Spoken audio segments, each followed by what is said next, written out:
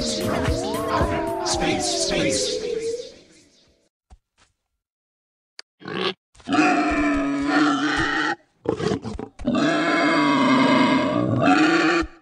I see that you Earthlings like to create alien life forms, and then upload them to YouTube.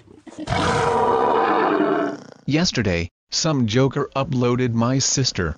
Only this time she had giant back horns and three mouths. The three mouths were funny. But on our planet, back horns are a sign of lesser brain capacity. Dude, not funny. So remember Earthlings, if you are going to manipulate alien life forms, leave my sister out of it. That is all.